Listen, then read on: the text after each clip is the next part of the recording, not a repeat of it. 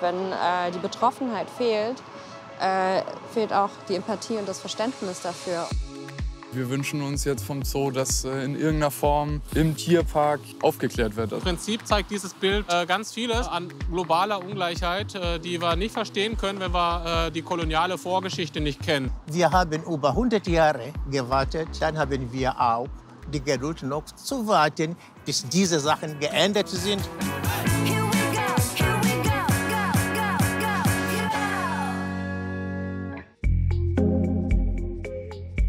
Er da, auf dem Pferd, grüßt jeden, der nach diversen außerplanmäßigen Halten und mit ca. 120 Minuten Verzögerung in den Kölner Hauptbahnhof einfährt. Das Reiterstandbild zeigt Wilhelm II., letzter deutscher Kaiser und König von Preußen. Es ist eines von vielen Bauwerken, Orten und Straßen in Deutschland, die uns im Alltag auf die deutsche Kolonialgeschichte stoßen könnten.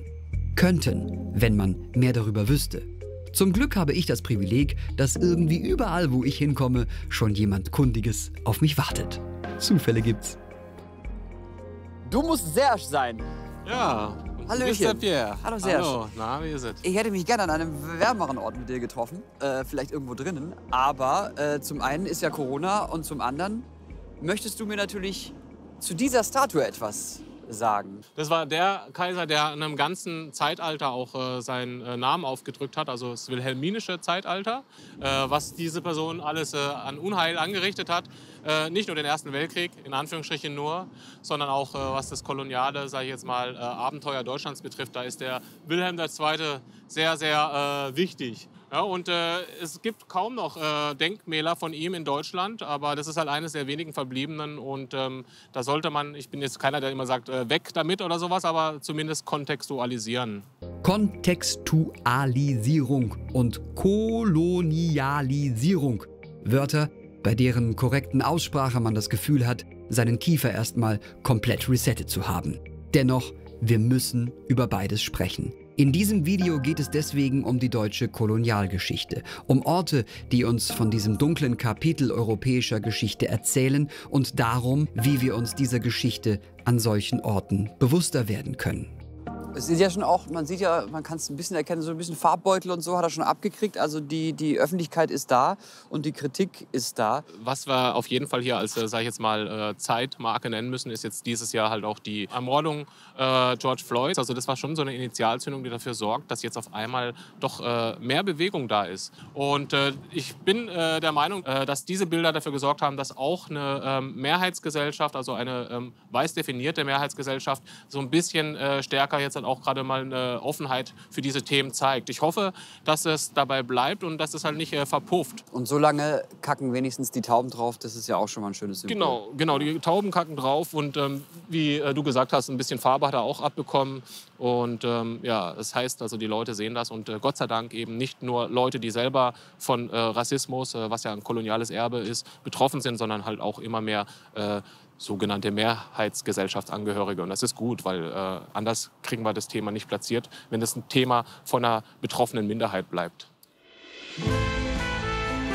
Die Farbe, die Wilhelm abbekommen hat, scheint tatsächlich schon etwas verblasst. Die Empörung abgeebbt, die sich im Zuge der Black Lives Matter-Bewegung regte. Ich habe mich in diesem Jahr auf Reisen begeben. Ich habe Serge und weitere Menschen getroffen, die sich ganz persönlich dafür engagieren, Aufklärung zu betreiben und Veränderungen zu erwirken. Also lockert eure Kiefer und kommt mit mir, Corona-Beschränkungen hin oder her, auf Reisen.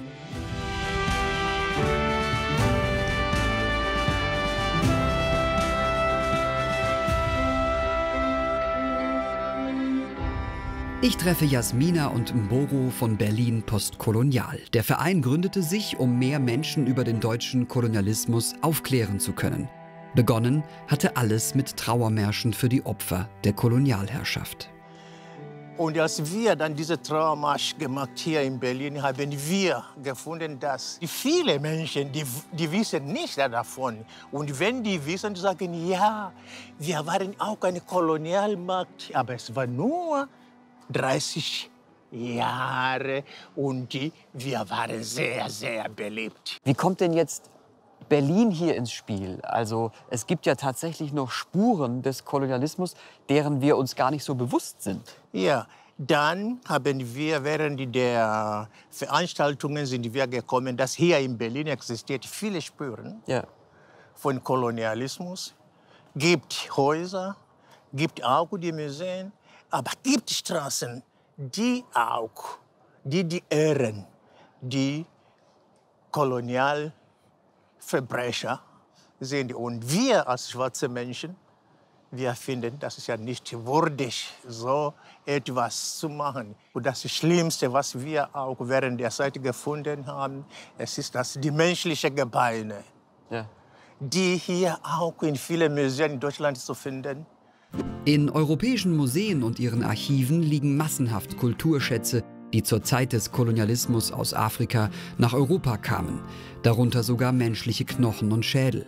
Trotz großer Kritik, nicht nur von Berlin postkolonial, wird die Herkunft solcher Gegenstände nur selten und mit vergleichsweise wenig Eifer erforscht. Äh, Jasmina, du bist als, ich sage mal, verhältnismäßig junger Mensch Ja. ähm, wahrscheinlich auch erstmal, musstest du dich erstmal selbst in diese Materie äh, hineinarbeiten. Ja. Wie, wie, wie ist da deine, dein persönlicher Bezug dazu?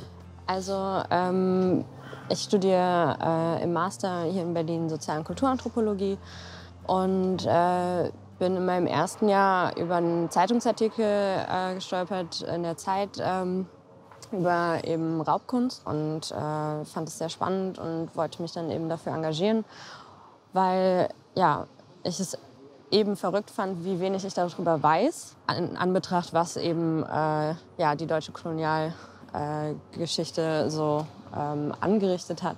Ja, deswegen wollte ich dann mich dafür engagieren, um das zu ändern. Also nicht nur bei mir, sondern bei anderen Menschen. Und die Veränderung beginnt jetzt. Wow, voll der Life-Coach-Satz. Tatsächlich gibt es neben der Diskussion um Raubkunst auch offenkundige Spuren von Kolonialgeschichte. Diese zeigen Mboro und Jasmina in einer Stadtführung. Also heißt es für mich heute, einfach mal zuhören. Ja, was denn? Das geht! Also, sofern ich morgens den Viertklässlern auf dem Weg zur Schule erfolgreich ihre Ritalin gemobst habe und das habe ich halt getan.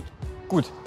Ich- sag mal, was ich sehe und dann sagt ihr, was ihr hier seht. Ich sehe eine, eine, eine fertig gebaute Kracht und fertig gebaut ist etwas, was ich in Berlin unbedingt lobend erwähnen möchte.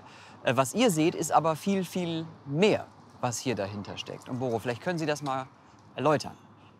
Für uns, und ich meine, wir als schwarze Menschen hier in Berlin und hier in Deutschland, die Straße hier, Friedrich Kracht, erinnert uns an der große Kurfürst von Brandenburg, Friedrich Wilhelm.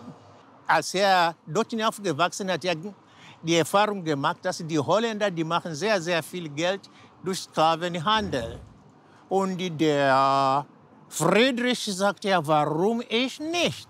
Das heißt, ein, ein Ort, der benannt ist nach einem, der sich am Sklaventum äh, bereichert hat. Ist denn sozusagen dann das Bestreben, hier zu sagen, wir nennen das anders oder wir klären da besser auf? Also zum Beispiel, äh, es gibt auch eine Initiative, die sich für ein Denkmal äh, äh, engagiert.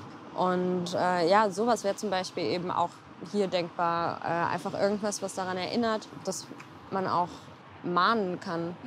Als Mahnmal eben. Nicht wenige Orte in Deutschland sind benannt nach Personen, die eine unrühmliche Rolle in der deutschen Kolonialgeschichte spielten.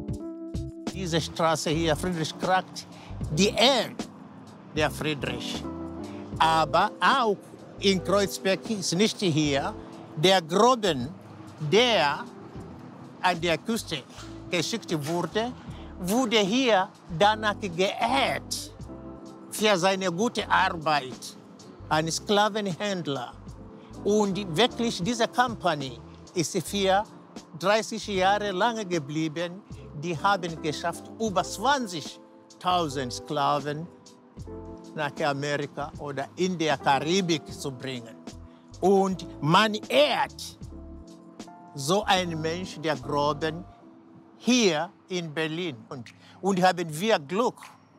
In Kreuzberg, die Grüne Partei war hinter uns. Und da wirklich haben wir geschafft, diese Straße zum Umbenennen. Und die meisten, die Einwohner, auch heute hier in Berlin und auch irgendwo anders hier in Deutschland, die sagen, ah, sie wollen die Geschichte auslöschen.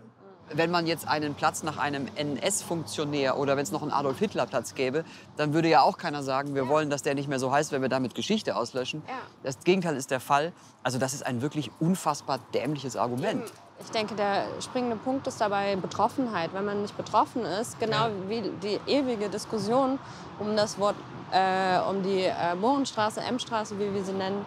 Äh, die meisten sagen, ja, das ist doch kein rassistischer Begriff, ich finde das nicht schlimm.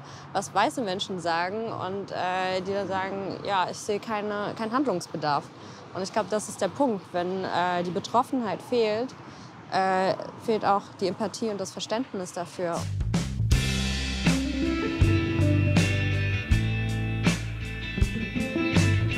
Ich liebe ja Stadtführungen. Am liebsten mache ich die kostenlosen Walking-Tours obskurer Hostels, bei denen ein überdrehter Exil-Australier einen bis 5 Uhr früh durch alle sehenswerten Pubs der Stadt führt.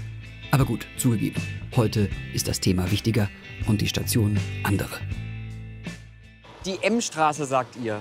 Ja, Ihr sagt also ganz bewusst nicht Mohrenstraße ja. ähm, und distanziert euch sozusagen von, ja, von dem Despektierlichen, das hier Also- offensichtlich drin steckt. Hauptsächlich vor allem, um das Wort nicht zu reproduzieren. Ja. Also ähnlich wie das N-Wort. Ähm, einfach um ja, rassistische und gewaltvolle Sprache nicht immer wieder zu verwenden. Die Straße wird ja jetzt äh, zum Glück umbenannt. Das hat ja sehr lange gedauert. Es war nach äh, Anton Wilhelm Amo, der eben auch äh, versklavt äh, hier hingekommen ist, verschleppt wurde. Aber dann ähm, als erster schwarzer Mensch hier einen akademischen Abschluss gemacht hat und äh, Philosoph war. Hier hatten die Proteste also Erfolg. Die Straße soll umbenannt werden. Doch bis zur Umsetzung des Beschlusses kann es noch etwas dauern. So wie man, wenn man für die Aufarbeitung deutscher Kolonialgeschichte kämpft, wohl leider grundsätzlich Geduld aufbringen muss. Stellen Sie denn fest, dass sich was geändert hat? Sie machen das jetzt ja schon eine Weile, diese, diese Führungen. Es steht noch sehr, sehr, sehr viel Arbeit von, vor uns, aber trotzdem hat es auch etwas. Man jetzt redet von Sklaverei, man redet von Kolonialismus, man redet auch von Rassismus. Es ist viel passiert. Man kommt schon langsam, aber ich finde es zu langsam. Aber leider, es ist ja so. Ich sage es immer, wir haben über 100 Jahre gewartet. Dann haben wir auch die Geduld noch zu warten, bis diese Sachen geändert sind.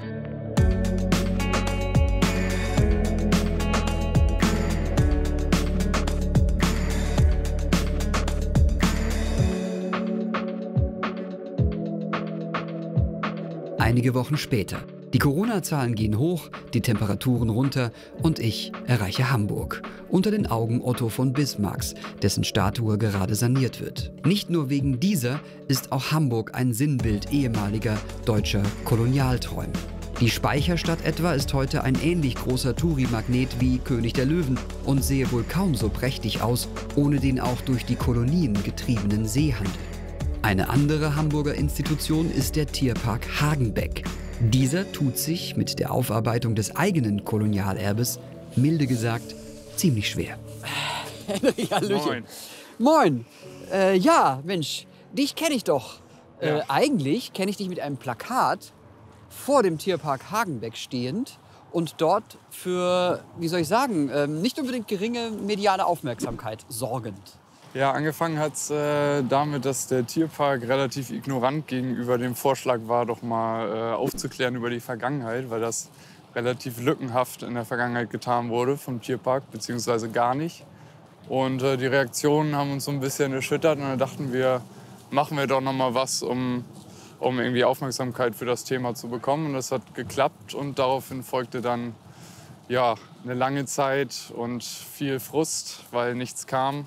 So. Also die, die, die Sache, um die es geht, ist, dass äh, Karl Hagenbeck von 1874 bis 1932 in diesem Tierpark sogenannte Völkerschauen veranstaltet hat. Ja, da wurden, das kann man auch äh, so krass sagen, Menschen verschleppt aus anderen Ländern. Das war natürlich um die Kolonialzeit, da begann das. Und äh, der Tierpark formuliert das so, dass diese Menschen engagiert wurden und dass es eben damals zum Völkeraustausch diente. Und äh, auf der Website steht zum Beispiel, dass man dadurch erstmals einen Einblick gewährte in fremde Kulturen, was natürlich kompletter Schwachsinn ist, weil da nur Stereotypen bedient wurden und äh, nicht wirklich ein authentischer Einblick gewährt wurde, sondern das war eine brutale Kolonialaktion. Und wie hat der Tierpark reagiert, als ihr ähm, mit eurer Aktion da aufgefahren seid? Ja, anfangs hieß es noch, äh, wir sind stolz auf unseren Gründer und das bleibt auch so. Ja. Das war die erste Ansage. Und ähm, weil wir dann so ein bisschen gestichelt haben und natürlich der Tierpark auch gemerkt hat, dass da auch ein paar andere Menschen hinterstehen, hinter dieser Forderung, kam dann die Ansage, dass eine Pressekonferenz stattfinden soll. Irgendwann kam dann die Antwort, dass äh, diese Pressekonferenz erstmal verschoben ist. Aus welchen Gründen? Die wurden nicht genannt. Okay. Also der Tierpark zeigt sich nach wie vor ignorant und wir wünschen uns jetzt vom Zoo, dass äh, in irgendeiner Form im Tierpark äh, ja, aufgeklärt wird. Solange da oben auf dem alten Eingang immer noch ein Mensch mit, mit Speer zu sehen ist und in keiner Form irgendwie eine Infotafel, dass da eben mal Menschenzoos stattfanden und dass der Tierpark so eine Vergangenheit hat, äh, solange werden wir weitermachen. Wie bist du eigentlich dazu gekommen? Ähm, ja, da hat ähm, mein Freund Modu eine wunderbare Doku geteilt. So fing das, glaube ich, an von Arte. Und äh, daraufhin haben wir uns zusammengetan und gesagt, okay, wir müssen da irgendwas machen. Das ist mal in unserem Wirkungsumfeld so, da können wir was verändern. Ja. Eigentlich ein total nachvollziehbarer, ähm, richtiger und kluger Gedanke. Und wir hoffen sehr, dass da mal äh, was zurückkommt. Genau. Vielen Dank, Henry. Es ist kalt, lass ich uns noch ein bisschen die Aussicht genießen. Okay, genossen, lass uns jetzt ins Warme gehen. Ja, das ist eine gute Idee. Ins Warme gehen, ein frommer Wunsch, bei dem ich nicht bedachte, nach dem Herbst kommt ja Winter. Und in diesem Winter sind Interviews in geschlossenen Räumen leider weiterhin nur semi angesagt. Also haben sich Serge und ich bei Wilhelm getroffen. Vielleicht erklärst du mal ganz kurz diesen, diesen Dachverband. Was, was, ist eure, was ist eure Aufgabe, eure Mission? Genau, also beim Eine Weltnetz NRW geht es generell darum, dass wir versuchen, äh, globale Süd-Nord-Themen äh, stärker auch in der breiten Masse äh, publik zu machen. Also da geht es um fairen Handel oder unfaire Handelsbeziehungen, besser gesagt, und äh, was der faire Handel sozusagen dagegen äh, machen kann, weil auch die unfairen Handelsbeziehungen, die wir heute haben, wurden ja in der Kolonialzeit gewaltsam etabliert. Und wir sehen in den Medien ja immer wieder so, ach ja, Wirtschaftsflüchtling, äh, kommt da zu uns ins gemachte Nest. Solche Aussagen ignorieren, dass diese äh, sogenannten Wirtschaftsflüchtlinge, weil das ist ja ein despektierlicher Begriff, äh, historisches Resultat aus einer ähm, globalen Entwicklung sind, die in der Kolonialzeit begonnen hat. Was ähm, Flüchtlinge, die heute übers Mittelmeer flüchten, mit dem Kolonialismus von damals zu tun haben, das wirst du mir gleich noch mal erklären. Dazu gehen wir aber noch woanders hin, denn du willst mir noch einen anderen Ort zeigen. Ja. Ist auch draußen, ne? Mist. Ah, wir gehen noch ein bisschen, ja. Hier, da, Richtung Dom. Damit alle auch checken, wir sind in Köln.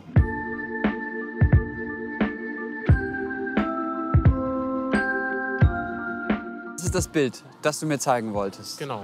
Also im Prinzip zeigt dieses Bild äh, ganz vieles an globaler Ungleichheit, äh, die wir nicht verstehen können, wenn wir äh, die koloniale Vorgeschichte nicht kennen. Auf dem Bild äh, zentrales Element ist das Meer. Und wenn man äh, das Meer sich anschaut, dann äh, dürfen wir nicht nur heute an das äh, Mittelmeer und die Geflüchteten denken, die da ertrinken, sondern im Prinzip äh, begann eine globale Umverteilung äh, ja, mit äh, dem, sag ich mal, Schwarzwerden des Meers im Sinne von, ich mache es konkret, äh, es gibt Historiker, die sagen, wenn der Atlantik austrocknen würde, müsste man von Afrika nur den Skeletten folgen, um den Weg nach Amerika zu finden. Und warum? Weil es äh, die größte Zwangsmigration der Geschichte, der transatlantische Versklavungshandel, im Prinzip dafür gesorgt hat, dass der Westen entstehen konnte auf Kosten anderer Weltgegenden. Und jetzt sage ich mal, in die Zukunft gesponnen, und es ist gar nicht so gesponnen, äh, kann man den Spruch, den ich gerade erwähnt habe, äh, auf äh, das Mittelmeer möglicherweise übertragen. Wenn eines Tages das Mittelmeer austrocknet, muss man nur den Skeletten von Afrika folgen, um den Weg nach Europa zu finden. Äh, das sage ich, also diese beiden Zitate, um diese historische Kontinuität auch ein bisschen darzustellen.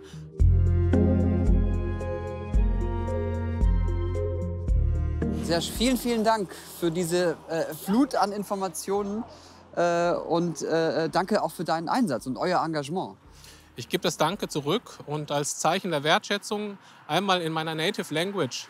Es ist eine super Sache, dass du mich dazu schwätzen lassen hast, gell? Du, wir, wir sehen uns im Sendegebiet. Ah jo, das machen Mein wir, Lieber, gell? mach's gut. Pass auf Bis dich dann, auf, gell? Allah. Oh jo, ciao. Kommst gut heim? Ah ja, du auch. Tschüss, Serge. Du, der Serge ist ein guter Kerl. Kolonialismus. Kolonialismus. Ich glaube, ich kann es jetzt. War sogar ganz entspannt, dieses Kiefer-Yoga. Und es ist wichtig, dass wir diesen Begriff in den Mund nehmen. Genau wie Kontextualisierung. Das heißt nichts anderes, als dass Orte, Straßen und Bauten, die uns heute von der Kolonialgeschichte berichten können, auch gekennzeichnet werden, uns auffallen und mahnen können. Aber machen wir das mit Farbbeuteln? Drehen wir die Statuen um? Versenken wir sie in Spree, Rhein oder Elbe? Ich erlaube mir dazu mal einen YouTuber-Satz. Schreibt uns doch eure Gedanken und Ideen in die Kommentare.